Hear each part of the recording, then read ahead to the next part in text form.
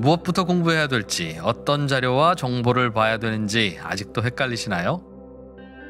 포스트 코로나 시대에 방황하는 20대부터 본업에서도 투자에서도 성과를 내고 싶은 30대, 노후를 준비하는 40대, 50대까지 주식 투자의 세계에 입문하신 분들을 위해서 3프로TV가 준비했습니다. 3프로TV 주식대학 봄학기 초보 투자자들의 멘토 연블리의 친절한 주식 기초 교육 어떤 기업이 돈을 잘 벌고 있는지 확인하는 법부터 증권사 리포트, 기술적 분석을 통해서 수익을 내는 법까지 염블리, 염승원 부장과 함께 한 발자국씩 나아가면서 평생 투자의 기초를 탄탄하게 다지는 시간이 될 겁니다. 3프로TV가 염블리의 친절한 주식 기초 교육과 함께 여러분의 성공 투자를 응원하겠습니다. 영상 아래 링크를 통해서 강의를 신청하실 수 있습니다. 자 그러면 우리 교보증권의 박병창 부장님 음, 사반세기를 우리 증권 영업부에서 정말 신화처럼 어, 버티신 분 박병창 부장님 모시겠습니다. 어서 오십시오. 예, 안녕하십니까? 네, 반갑습니다. 네, 정말 아, 쉽지 않은 일입니다. 아, 그럼. 네, 한 우물을 판다는 것 거기서 물이 나올지 안 나올지 모르는데 그 우물을 계속 파고 있다는 거 쉽지 않은 일입니다. 그래서 그 파는 것 그래서 물이 나왔냐가 중요한 게 아니라 그 파는 과정에 습득된 수많은 스킬들을 이제 우리한테 전해주시는 겁니다. 음. 그게 중요한 겁니다, 여러분. 자 그러면 우리 박병창 부장과 함께 오늘도 한번 미국 증시 마감 상황부터 쭉 한번 가보겠습니다. 예, 알겠습니다. 어제 나스닥이 1.1% 하락, 다우가 0.94% 하락, 다 떨어졌어요. 0.76% 하락했습니다. 네. 근데 가만히 생각을 해보면 요즘에 일희일비하고 있는 시장이죠. 예. 하루 올랐다 하루 빠지는 그런 모습이 나타나고 있고요. 네. 그리고 소위 가치주하고 성장주 논란이 있는데 이것도 일희일비하면서 하루 올랐다 하루 빠지고 지금 그러고 있는 아, 상황이에요. 상당히 갈피를 잡지 못하고 있고 여러분들도 아마 이거 도대체 어느 어느 방향으로 가야 되는지 모를 수밖에 없는 그런 네. 시장이다. 그래서 어제 말씀드렸듯이 뭐 많은 분들도 지금 정확하게 어떤 길이다라고 얘기하고 있지 않고 네. 지금은 변동성이 있다. 그리고 주목 장세다. 그리고 지금 변화의 시기를 겪고 있는 것이다. 이렇게 네. 표현을 할 수밖에 없는 그런 음. 상황이라고 좀 보시면 될 것 같습니다. 네. 근데 이게 길어지기 때문에 여러분 좀 답답하시거든요. 그래서 이게 언제까지인가 이런 부분들을 좀 어느 정도 좀 가늠을 좀 하면서 어, 전략을 좀 짜가야 되는 어, 그런 시점이 아닌가라고 생각합니다. 어제 오전에는 그 바이러스 얘기들이 나오면서 네. 어, 코로나 바이러스 얘기가 나오면서 네. 전반적으로 어, 그 컨택트들을 그동안에 올랐던 가치주 쪽에 있었던 그러니까요. 음, 항공주 뭐. 카니발 이런 거 떡나게 버렸대. 어제 유가가 6% 하락을 했고요. 네. WTI가 그래서 구리도 3% 하락했고 항공, 정유, 금융, 기계 이쪽이 전체적으로 하락을 했습니다. 네. 최근 들어서 이쪽이 좋다라고 하면서 들어갔던 분들은 또 어제 그러니까. 또 파가 좀 날만한 그런 상황이 좀 됐습니다. 지금 박병창 부장님 마이크가 조금 조금 안 들린다는데 예? 그 위치를 약간 네. 네, 알겠습니다. 죄송합니다. 네. 네, 이거 말씀 주시면 됩니다. 네, 네. 아마도 약간 뭐 저 방향이 좀 틀어졌던 것 같은데요. 예, 저희가 또 조정해 드리겠습니다. 예, 네. 죄송합니다. 네. 어 그런데 이제 오후 들어서 그 동안에 좀 버, 어, 저 오전에 괜찮았던 그 테크주들이 또 하락을 했어요. 네. 반도체 전반적으로 뭐 예. 전반적으로 하락하는 그런 모습을 나타낸 것 같습니다. 그걸 차근차근 좀 말씀을 드리겠습니다.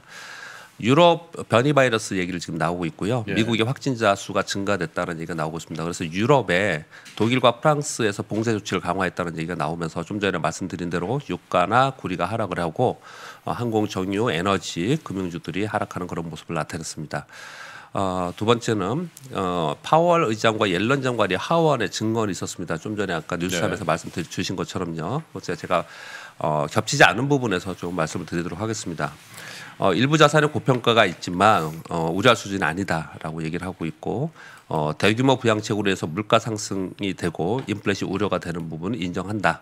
그러나 오래가지 않을 것이다. 네. 우리는 억제할 수 있는 도구가 있다. 이렇게 얘기를 하고 있습니다. 이 부분에 잠깐 또 다른 코멘트를 좀 드리면 그러면 억제할 수 있는 도구가 있다라고 하는데 이거 못하면 어떡할 거냐 음. 이렇게 얘기하는 측이 석학들이 얘기하는 측입니다. 석학들이 네. 그 투자의 그룹분들이나 어느 정도 위치에 있는 분들은 이렇게 얘기를 하고요. 네. 조금 더 장기적인 안목을 보고 있기 때문에 또 실전의 매니저들이나 월가에 있는 어, 투자자의 입장에서는 아, 도구가 있겠지. 예. 연준은 해주겠지. 그거 빨리 해줘라. 이게 시각이 굉장히 많이 다릅니다. 제가 이 표를 왜 드리냐면요. 여러분들이 많은 정보를 듣잖아요. 네. 많은 사람들이 전문가들이 얘기하고 그런데 그 얘기가 어떤 사람들은 굉장히 부정적으로 얘기하고 어떤 사람들은 그렇지 않다라고 얘기하지 않습니까?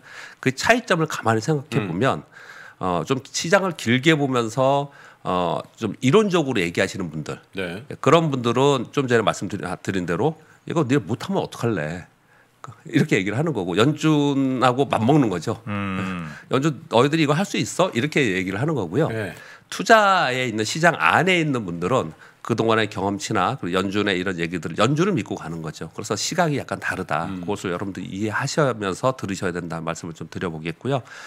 그리고 증세 발언이 나왔죠 옐런, 장관에서요. 이건 뭐 바이든 대통령의 공약이기도 했습니다. 그래서 증세할 것이고요. 이게 올해 노이즈가 될 것이라는 마- 부분은 우리가 알고 있지 않습니까? 근데 어제 에, 직접적으로 하원에서 발언이 있었어요. 그러면서 이 얘기가 왜 나왔냐라고 생각을 해보면 지금 이제 국채 발행으로 인해서 어, 국채 수익률이 올라가고 있는 부분들을 조절하지 않겠냐라는 얘기가 나온 거예요. 음. 그래서 어제 어, 국제 수익률이 떨어졌어요. 네. 가만히 생각해 보면 국제 수익률이 떨어졌으면 이제 안정화됐다 그러면서 빅테크가 올랐어야 되잖아요. 그렇죠. 근데 어제 시장을 잘 보면 국제 수익률은 1.6%대로 떨어졌고요. 네. 그런데 에, 테크주들이 올, 에, 하락한 것은 음. 어, 기술주들이 하락한 것은 옐런 장관의 증세 발언 때문에 그렇다. 음. 그렇게 이해를 하셔야 됩니다. 약간 달라진 거예요.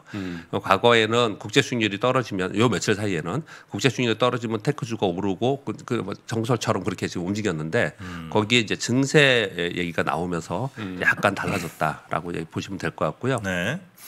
이제 이런 얘기들이 나오면서 어 사실 좀 어, 안전자산으로 좀 기우는 그런 이제 편향을 좀 가지면서 어제 그 미 달러가 92.35 포인트로 상당히 많이 오른 겁니다. 예, 최근 들어서 91포인트 레벨이 계속 있었기 때문에 이게 오르면서 어제 에, 환 여기 환율은 1133호까지 올랐어요. 그러면 우리나라 시장의 외국인들의 수급적 입장에서는 좀 좋지 않은 어, 그런 흐름이 어저께 있었다라고 보여지고요. 어제 그 테크주나 어, 빵주들은 좀 혼돈이었어요. 올라간 종목도 있고 내려간 종목도 있고 그래요. 그런데 특이한 점은 마이크론 테크놀로지가 6.4% 하락했고 필라델피아 반도체 지수가 2.7% 하락했어요. 예. 어, 이들이 하락을 하면서 반도체 섹터가 하락을 해서 오늘 우리 시장에 영향을 주면서 우리 시장은 오늘 또 하락 출발할 수밖에 없는 상황이에요. 근데 여러분 잘 생각해 보시면요. 어제 그러니까 오늘 밤 끝난 거 말고요. 네. 어, 직전 일에 에, 필라델피아 반도체 지수나 이런 게 올라서 아침에 떠서 시작을 했죠. 그러나 밀렸지 않습니까? 그렇죠. 근데 우리 시장을 가만히 보면요. 그래서 이런 얘기 하시는 분들이 있어요. 미국 시장을 선반영하면서 우리가 먼저 고르는 게 아니냐. 이게 자꾸 엇갈리니까 이런 얘기를 할 정도로 어, 미국 시장이 이렇게 에, 에, 필라델피아 반도체 지수가 이렇게 하락을 하면서 우리 시장이 하락하면서 시작을 하잖아요. 네. 그럼 또 저가 매수가 들어와요. 그래서 또 반등 시도를 하고 그러거든요. 네, 그런 부분들 좀 감안해서 투자를 해야겠다는 생각을 하고요. 네. 장 마감 후에 인텔이 200억 달러를 투자를 해서 파운드리 두 개 반도체 공장 건설한다는 발표를 했습니다. 네. 그래서 시간 외에서 지금 인텔 가격이 오릅니다. 그럼 어디 뭐 부분도- 아웃소싱 준다더니 그거는 예, 예. 풍문이었네. 예, 이제 직접 하겠다는 거죠. 그래서 네. 어제 왜 제 말씀을 드릴 때그 미국이 이제 반도체를 얘기를 하면서 어, 미래지향적인 이제 고부가치 반도체는 직접적으로 하려고 이제 음. 그런 이제 조짐들이 나오고 있죠. 그래서 이런 얘기들이 나온다는 것은 이제 경쟁이 심화된다는 부분도 한쪽으로는 있지만 한편으로는 그 후반 기업들에는 기회가 될 수 있다 이런 음. 부분들을 어저께 이제 나온 뉴스이고요. 네. CNBC 인터뷰에서 그 델러스 연주 총재의 카플라인 한 분이 있습니다. 네. 이분이 2022년까지 2022년 내년이죠. 내년에 금리 인상 시작해야 된다.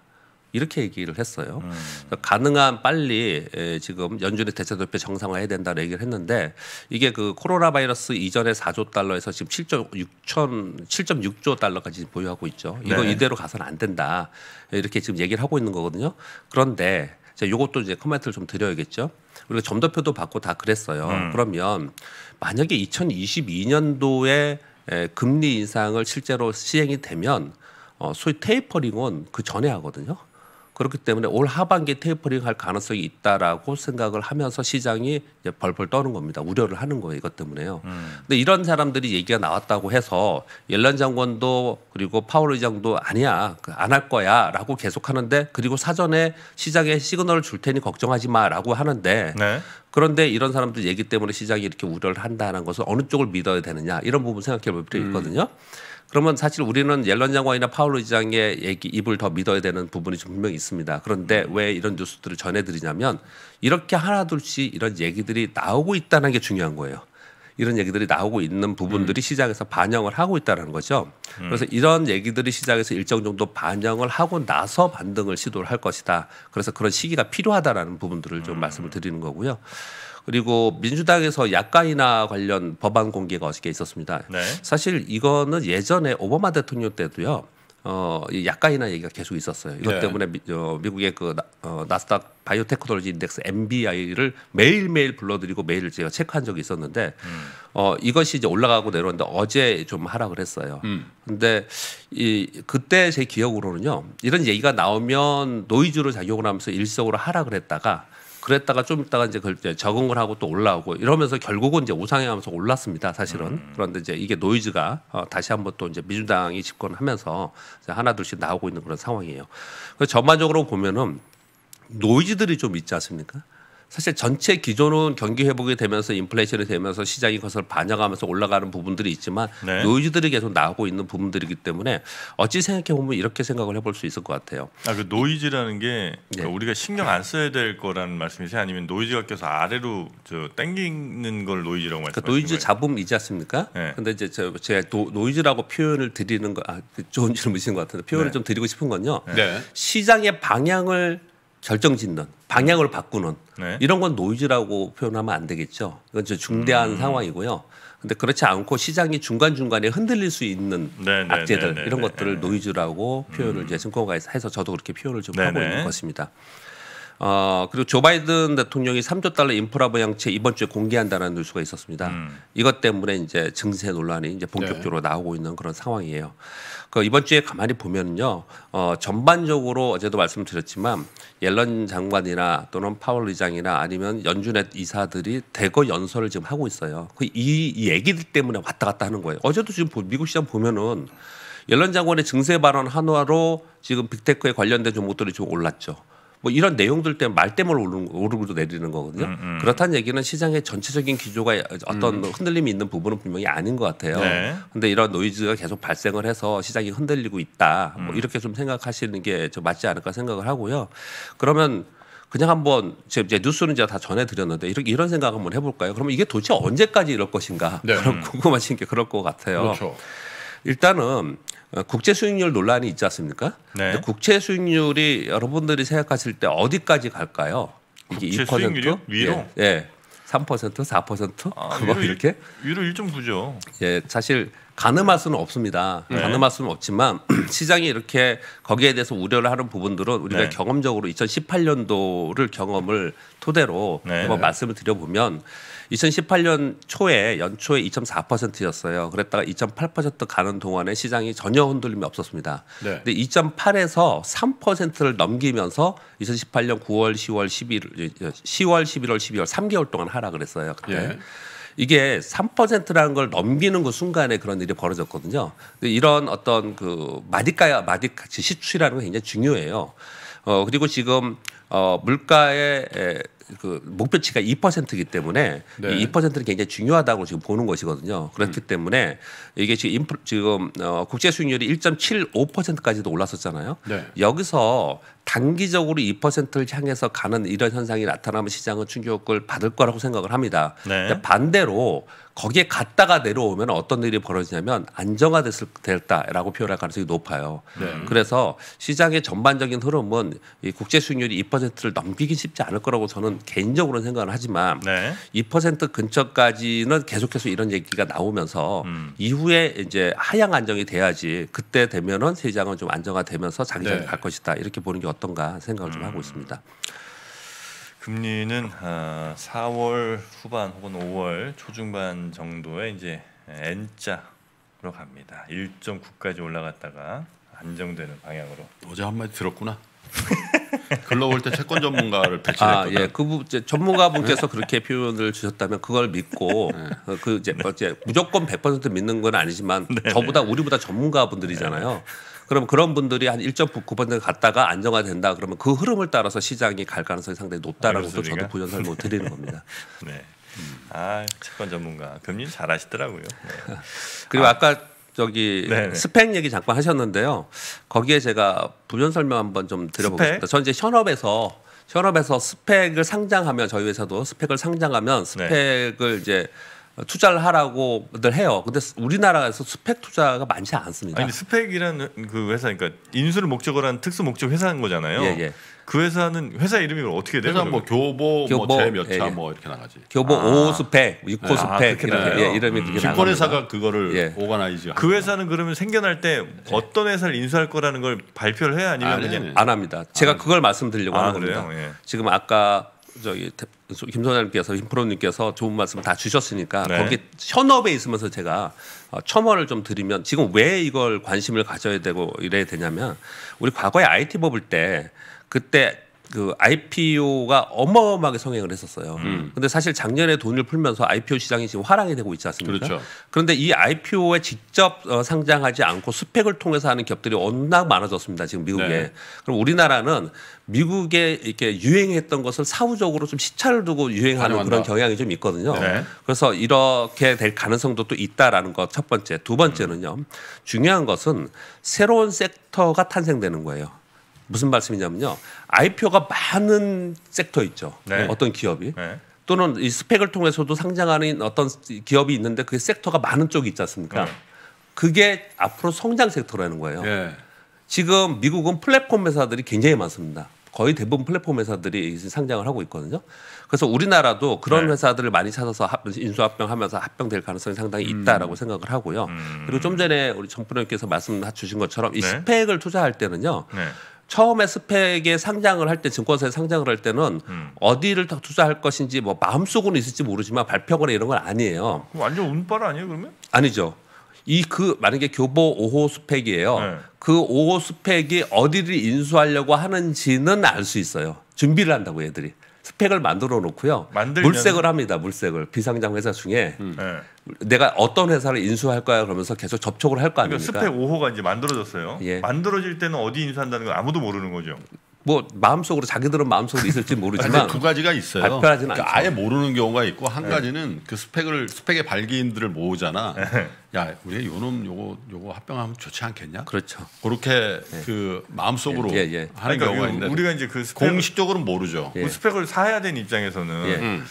뭐 교보 5호 있고 뭐 미래에서 3호 있고 뭐 이렇게 있다 쳐요. 그 중에 하나 골라야 되는데. 예, 그렇지. 그러면 예를 들어 여기는 뭐 바이오를 한다, 혹은 여기는 뭐 전자를 한다. 이렇게 되면 이제 난 전자는 스펙으로 가면 되는데 예. 아무것도 모르면 그냥 뭐난 교보 좋은 게 교보로 가 이렇게 가는 거 아니에요? 아니요, 아니요. 지금 말씀을 제가 드리고 싶은 건데 네. 중간에 말씀을 주셔서 그런데 네 네. 그 회사에 전화를 해서 네. 지금 그 스펙이 어디를 인수하려고 준비 중인지를 물어보시면은 아 확인이 됩니까? 예? 예, 준비를 아, 하고 있어요. 그냥 바로 하는 게 아니기 때문에 네네네. 그래서 어떤 기업이 아까 말씀 주셨던 그 펄 그러니까 인수하려는 기업이 알짜 기업이 좋은 기업이잖아요. 네. 그러면 그 스펙을 사면은 이후에 굉장히 좋죠. 근데 그 스펙 가격이 올라가죠, 통상. 예, 그 사이에 오르죠. 오르지만 오르긴 하지만 네. 아직까지 여기에 그렇게 많이 사람들이 막 인식을 해서 막 쏘- 이게 여기에 열광하고 이런 상황이 아니라서 그렇게까지 주가 많이 오르진 않아요. 작년에도 제가 이게 정확한지 모르겠지만 제테망가가 스펙으로 상장을 했는데 제테만가 뭐예요? 그 보톡스 하는 회사인데요. 아, 그래요? 예. 그 회사가 상장하고 나서 굉장히 좋았어요. 네. 근데 뭐 그 회사를 말씀드리는 것은 아니고요. 근데 그렇듯이 음. 얘들이 상장하기 그 이제 인수해서 이름을 바꾸기 전에 그 즈음 되면은 가격은 말씀 주신 대로 좀 오르지만 네. 우리가 생각을 해보면 IPO보다는 그래도 낫잖아요. 상 신규 상장하는 종목을 우리가 저기 장외에 살 수 있습니까? 또는 신규 상장한다고 소문 나면 장외에서 이미 주가는 엄청나게 뜹니다. 지금 크래프톤이 그렇지 않습니까? 음, 네. 그거보다는 여기가 덜 주가 반영이 좀덜 되거든요. 그래서 SPAC에 지금 증권사에서 있는 SPAC들이 어떤 것들이 있고 뭘 상장하려고 네, 하는지 네, 얘네들이 이제 주- 어느 정도 되면은 이제 공시도 하고 그러거든요. 이런 부분도 한번 살펴보는 것도 뭐 도움이 많이 되시지 않을까 네. 생각합니다. 그러니까 어쨌든 그 SPAC이라는 회사가 그 어떤 그러니까 펄 그러니까 내가 인수하려는 회사를 인수를 하는 형식인 거죠? 예, 그렇습니다. 형식은 예. 돈은 안 줍니까? 그, 그 돈? 뭘? 그 스펙 회사가 아, 돈 주고 사야지. 돈을 주고 사는 아, 거죠. 인수할 예, 때 근데 왜냐면 그게- 스펙의 자본금이 모여져 있어 안전하게 보관돼 있다 그랬잖아. 이 돈으로 그 회사의 그 돈으로 사는 거예요. 예, 예. 아, 그러면 돈이 많이 모이면 많이 모일수록 좋은 회사 사고 아니 뭐 큰 회사를 할 수 있는 거지. 예, 큰 예. 회사를 사고. 예, 예. 아, 그럼 이제 그 스펙을 갖고 있다가 A라는 회사를 인수를 하면은 네. 처음에 스펙을 샀지만 나는 A라는 회사의 주주가 되는 거거든요. 네, 거는. 네, 네. 예, 네. 그렇게 됩니다. 그래서 이제 요령은 처음부터 들어가면 시간이 많이 걸리니까 예, 맞습니다. 네. 이 3년 동안 못 하면 상장 폐지당하거든 스펙이. 음. 그러니까 2년 차 때까지 못하는 회사가 예. 상장 폐지하면 그 비용만 들어가잖아. 예. 스펙 발기인들이 네. 증권회사도 애만 썼잖아. 아, 그러니까 아, 어떻게든 뭐 한다 어, 이거죠. 그런 네. 거죠. 알겠습니다. 그런 방법도 있다는 거. 예. 자 스펙 관련해서는 이렇게 말씀을 좀 드리고요. 네. 그리고 오늘도 팁 하나 좀 그 나쁜 기업 골라내는 뭐 이거 아주 좋은 팁인 것 같은데 이거는 꼭 우리한테 현실적인 도움인 것 같습니다. 시간이 좀 걸릴 것 같은데 아, 그냥 그렇습니까? 말씀 음. 들어볼까요? 나쁜 기업 저거 했어요. 저기서 뭐요? 그 어디지? 상담소에서 아, 상담소에서 상담소에서. 아, 상담소에서 하셨어요? 음, 그럼 그거 보시면 되겠고요. 네. 그러면 그 그 위에 있는 거 하나 잠깐 네, 까- 네, 네. 짧게 말씀드려보겠습니다. 요즘에 시장이 주춤주춤주춤 하지 않습니까? 이렇게 네. 이렇게 주춤주춤 할때 어, 우리 그 현업에 있는 사람들이 걱정하는 게 하나 있어요. 증권사 네. 직원들이 늘 걱정하는 것 중에 하나가 뭐냐면요. 음, 여기서 밑으로 한번 팍 빠졌다가 올라오는 게 아니에요. 여러분 그런 생각 많이 드시죠? 실제로 그런 경우가 많아요. 시장이 네. 단기적으로 음. 지금은 약간씩 이런 각도로 하락하지만 각도가 아주 급격하게 이제 밑으로 확 빠졌다가 올라오는 요게 있지 않을까라는 걱정을 되게 많이 해요. 그렇죠. 예, 근데 왜 이런 현상이 나타나는지 말씀 좀 드려보면 요번에도 이럴 가능성이 저는 좀 있어 보이거든요. 그래서 좀 말씀 좀 드려보면요. 이번 상승에 기관과 외국인들은 계속해서 매도했어요. 그래서 active 투자 자금을 운용하는 기관 매니저들이 저가 매수할 기회가 그리 마땅치 않았습니다. 계속 올라왔기 때문에 네. 그 떨어질 때도 지금 그냥 슬금슬금 떨어지기 때문에 그렇게 하지 못한 경우가 많아요. 그래서 만약에 매수 준비를 하더라도 심리적 공포나 아니면 레버리지 반대 매매 이런 것으로 인해서 시장이 툭 떨어질 때 살려고 하는 준비를 상당히 지금 하고 있을 거라 이렇게 생각을 합니다. 결론적으로 어떻게 생각 말씀을 드리려고 하는 거냐면 늘 그랬듯이 그 공포스러운 단기 급락 후에 매수가 들어오면서 저점을 찍는 경우가 굉장히 많아요. 네. 그러니까 지금은 시장이 이렇게 막 크게 하락하지도 않고 그냥 뭐 진짜 피 말리듯이 이두달 이상 이러고 있지 않습니까? 이러고 있다가 어느 순간에 푹 빠지면 어떤 생각을 많이 하냐면 여러분들이 야 이제 드디어 폭락하는구나. 음. 이제 드디어 이제 아래로 꼽는구나 이런 이런 생각을 많이 하거든요. 네. 근데 거기서 저점을 만들고 올라오는 경우가 굉장히 많습니다. 물론 장기 시황에서 추세적인 하락의 시그널이 없어야겠죠. 근데 이런 어떤 노이즈나 수급이나 아니면 심리적 이유에서 딱 떨어지면 거기서 살려고 하는 이것만 전문으로 하는 매매 집단이 우리나라에는 꽤 많이 있는 것 같아요. 아 그래요? 그 소위 그 빈집털이 매매라는 거 있잖아요. 저는 이분들이 저는 제 주변에는 없어서 저 한번 묻고 싶은데 우리나라의 각 섹터들이나 종목들에 가서 기관이나 외국인들이 다 털리고 또는 신용이나 신용 물량이 다 털리고 이제 아무도 관심 없는 이런 쪽에만 들어가지고 한 번에 막 30% 20%씩 이렇게 수익을 내는 요런 거래를 하시는 분들이 또 있어요 실제로 기관들도 그런 데들이 있거든요. 그렇듯이 지금 시장이 이렇게 슬슬슬슬 내려가면서 이렇게 지루하게 움직이고 있는데 여기서 만약에 이 투매나 어떤 수급적 요인에서 밑으로 한번 꺾이는 모습이 나타나면은 단기적으로 바닥을 찍을 개연성이 상당히 있다. 과거 경험상도 그랬고 이번의 흐름도 좀 그렇게 보인다. 그래서 네. 이 흐름에 거꾸로 타시면 안 된다. 그런 말씀을 좀 드려봅니다. 어, 이 빈집 ETF 같은 거 하나 있으면 좋겠네. 빈집 빈집 털이 전문 집단들이 있군요. 빈집 털이를 잘못하면 근데 빈집인 줄 알고 들어갔지. 네. 딱 들어오면 철코덕 소리가 날 때가 있어요. 밖에서 문이 잠겨.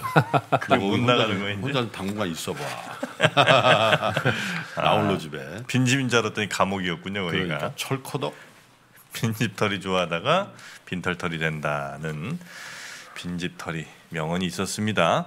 그 김미정이라는 분이 어, 저한테 질문이 왔어요. 밤에는 미국 주식 떨어지고 낮엔 한국 주식 떨어지고 미칠 것 같다고. 음. 이럴 때 어떻게 해야 되냐. 아마 이제 두 가지 질문인 것 같습니다. 하나는 정말 이걸 팔아야 되냐 말아야 되냐 이런 질문인 것 같고 하나는 마음가짐을 어떻게 먹어야 되냐. 음. 어, 지금 요즘 이제 힘든 분들이 많으니까 요거 짧게 답 하나 좀 해주실 수 있을까요? 밤에는 미국 주식 떨어지고 낮에는 한국 주식 떨어집니다. 근데 뭐 원론적으로 뿐이 답을 못 드릴 것 같습니다. 근데 그 주식이 어떤 주식이냐의 문제인 아, 거죠. 어떤 주식이냐? 예. 그러니까 그 주식이 내가 신뢰할 수 있는 기업의 주식을 가지고 있습니다. 성장하는 기업의 주식을 가지고 있어요. 네. 그러면 나는 내가 선택할 때 내 원칙을 가지고 투자를 했다면 음. 떨어지면 떨어 어, 다시 이 회사는 좋은 회사이고 주가가 올라갈 기업이니까 네. 그럼 그건 정말 말 그대로 기다리면 되지 않습니까? 아, 오히려 떨어질 때 오히려 더 사야 되는 상황도 되는 거고요. 네. 그런데 그 기업이 어, 때가 성장할 수 있는 기업이 주가가 다시 오를 수 있을 기업인지를 명확하지 않고 잘 모르겠는 기업들 있잖아요. 음. 제가 매번 말씀드렸는데 정프로님 그걸 어떻게 하라고요? 그런 것들을 팔라고요. 네, 그런 네. 것들을 팔아서 정말 내가 더 신뢰가 가는 기업에 더 사는 거죠. 같이 떨어졌기 아, 아, 때문에. 아. 그런 작업들을 이렇게 조정 부을 때는 좀 해야 됩니다. 네. 아, 그럴 때는 마인드 컨트롤 그렇게 하시면 된답니다. 정프로를 보고 마인드 컨트롤 하시면 된다고 합니다. 네. 자, 그러면 오늘 박병창 부장님과의 에, 시간은 이 정도로 네. 어, 정리하도록 하겠습니다. 우리 교보증권에서 25년간 정말 산전수전 다 겪으신 우리 박병창 부장님 그 전투 경험들을 저희에게도 계속 앞으로 좀 잘 풀어주시기를 다시 한번 부탁드리겠습니다. 함께해 주신 박병창 부장님 대단히 고맙습니다. 감사합니다. 감사합니다. 네. 매달 월급처럼 따박따박 배당을 받는 ETF 그리고 1년 사이에 10배가 오른 테슬라 미국 시장에 상장을 준비하는 쿠팡까지 소식은 많이 들리지만 미국 주식 투자를 시작하기에 아직은 어색하신가요? 포스트 코로나 시대에 방황하는 20대부터 본업에서도 투자에서도 성과를 내고 싶은 30대 노후를 준비하는 40대 50대까지 미국 주식의 세계에 입문하신 분들을 위해서 3프로TV가 준비했습니다. 3프로TV 주식대학 봄학기 미국 주식에 미치다 장우석과 이항영의 미국 주식 완전 정복 미국 시장의 제도, 특징, 세금부터 기업의 가치 분석, 포트폴리오 유망 종목까지 장우석 본부장, 이항영 대표와 함께 한 발자국씩 나아가면서 평생 투자의 기초를 탄탄하게 다지는 시간이 될 겁니다. 3프로TV가 미주미 미국 주식 완전 정보 클래스와 함께 여러분의 성공 투자를 응원합니다. 영상 아래 링크를 통해서 강의를 신청하실 수 있습니다.